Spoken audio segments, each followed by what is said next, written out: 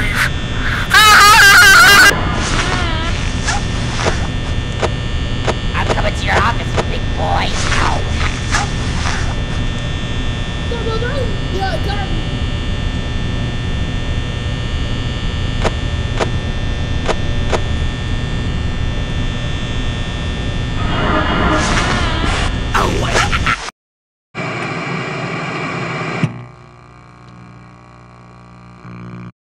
You lost the challenge. Looks like you have to stay with us.